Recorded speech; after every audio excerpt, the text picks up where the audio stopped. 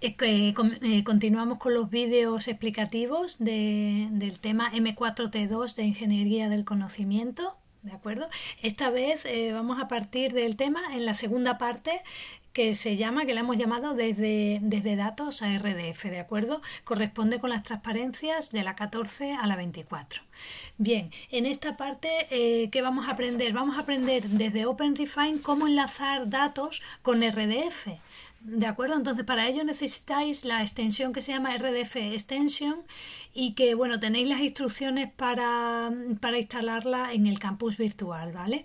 Bien, ¿de qué se pretende? Eh, de, de, qué se trata? ¿Qué vamos a hacer? Pues la idea es enlazar las columnas que tenemos. Hemos abierto ya el ejemplo de museos para que lo tengáis aquí en pantalla. Pues se trata de enlazar cada una, si es posible, de las columnas que tenemos con ontologías que estén en sitios externos, ¿de acuerdo? Y mm, que sean lo más adecuadas posible o lo más relacionadas posible con el dominio que estamos tratando nosotros. ¿De acuerdo? Bien, ¿qué es lo más importante también? Tenemos que justificar por qué hemos elegido esa ontología, eh, de forma que este enlace con RDF sea lo más consensuada y estándar posible y a su vez sea reutilizable en un futuro. ¿Vale? Bien, pues partiendo de esa premisa, lo que vamos a, vamos a hacer es eh, comenzar a hacerlo con la herramienta. Para ello, mirar, lo primero es, vamos a editar el esqueleto de RDF. En la extensión RDF, a la derecha, tenéis la edición del esqueleto, lo abrimos. ¿vale? Primero vamos a definir la base URI. Esto lo tenéis mm, en la transparencia 18 más o menos del tema.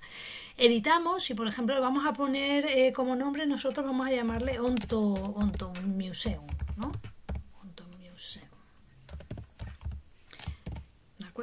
Aplicamos. Eh, a su vez, vamos a determinar aquí, vamos a definir cómo vamos a llamar o cómo vamos a denominar cada recurso en base URI. Pues nosotros imaginaros que le vamos a dejar el index y voy a editar aquí con una expresión de, lenguaje GREL y le vamos a llamar, por ejemplo, museo delante y más concatenado con el ID, ¿no? Con el 0, 1, 2 va saliendo así. Esa es la idea. Entonces hacemos OK, hacemos OK aquí y ya, ya tenemos definido eh, cómo denominaremos a cada recurso en base URI. Mm, ¿Vale? Bien, a continuación, ¿qué vamos a hacer? Enlazar cada una de las propiedades o las que veamos más oportuno hacerlas o las más adecuadas con, eh, con propiedades externas, con propiedades de ontologías externas. Entonces, yo lo que voy a hacer es quitar todas estas y vamos a crear una propiedad, por ejemplo, eh, la más común que es eh, FOAF name y la voy a enlazar con, con la columna nombre del museo, ¿vale? Simplemente esto y hacemos OK. ¿Por qué me ha salido el prefijo FOAF? Mirad, aquí tenéis por defecto RDF, OUL, RDFS y FOAF podemos añadir, por ejemplo, yo eh, si conozco algún sitio, alguna ontología externa, pues voy a añadirla, en mi caso voy a añadirla una para enlazar el propietario. Como prefijo voy a añadirle eh, DBpedia, por ejemplo, hay una de DBpedia. Vale. Entonces ponemos la URI de DBpedia, pues http dos puntos barra barra eh, DBpedia org, vale, ontology owner. Hacemos OK y ahora puedo añadir una propiedad, una property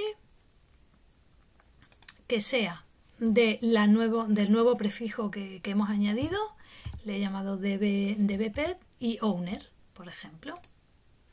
¿Vale? ¿Con quién lo voy a enlazar? Pues con la columna propietario.